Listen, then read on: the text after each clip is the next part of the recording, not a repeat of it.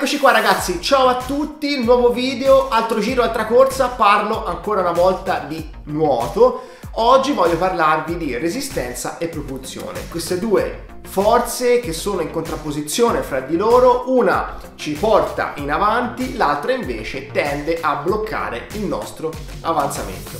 La resistenza infatti è quella forza che si oppone all'avanzamento del nuotatore in acqua, la propulsione invece è la forza che applica il nuotatore appunto per vincere la resistenza. Una nuotata ottimale andrà a ottimizzare al massimo la propulsione riducendo al minimo la resistenza. Tutto questo può essere descritto con la terza legge della dinamica di Newton che dice che ad ogni azione corrisponde una reazione uguale e contraria. In sostanza alla propulsione, questa forza che ci porta in avanti, corrisponde una forza resistente che tende invece a farci rimanere fermi. La domanda quindi è cercare di descrivere le forze propulsive che interessano il moto del nuotatore. Ci sono tre teorie sviluppate rispettivamente negli anni 60, 70 e 80 che prendono il nome di teoria convenzionale, teoria classica e teoria dei vortici che descrivono, diciamo così, in modo abbastanza eh, completo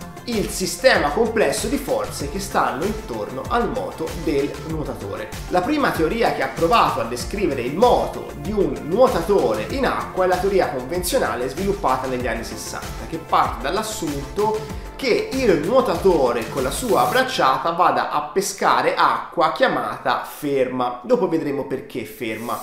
In sostanza questa teoria si basa sul concetto di differenza di pressione tra la parte posteriore del palmo dell'avambraccio e del braccio e la differenza di pressione tra la parte invece anteriore di palmo, avambraccio e braccio. Questa differenza di pressione genera, come si diceva, una spinta, una differenza di potenziale e quindi una spinta. In sostanza è quella che succede quando si immerge un remo di una barca in acqua e si ha spinta propulsiva in avanti, generata dalla differenza di pressione tra le due facce del remo. Una seconda teoria, molto più elaborata, prende il nome di teoria classica ed è stata concepita negli anni 70. In questa teoria si afferma che la bracciata del nuotatore si trova acqua ferma, ma solo nella sua prima parte della bracciata. Successivamente, quando la bracciata si sviluppa, se il braccio rimane dritto, fermo, incernierato alla spalla come un remo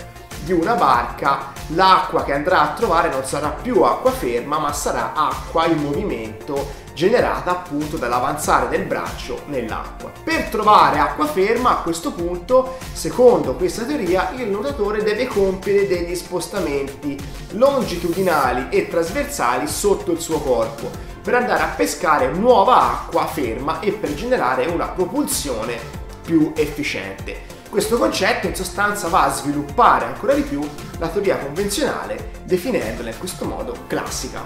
Una terza teoria è quella sviluppata negli anni Ottanta che è stata denominata teoria dei vortici. Secondo questa teoria infatti un corpo in movimento in un liquido genera sul suo profilo dei vortici. Questi vortici roteando generano una differenza di superficie e di conseguenza una propulsione. Tanto per farvi capire quanto siano interconnesse fra di loro queste tre teorie, prendiamo ad esempio la nuotata, o meglio la bracciata di un nuotatore velocista, il quale per buona parte della sua bracciata avrà una bracciata molto ferma, simile a quella di un remo in acqua, ma che poi a un certo punto, nel suo punto più profondo, andrà a cercare anche un pochino di acqua ferma, come diceva la teoria classica. Infine una nuotata di un velocista è sicuramente una nuotata molto veloce che genererà in acqua dei vortici e che renderanno la presa della mano sull'acqua molto più ferma.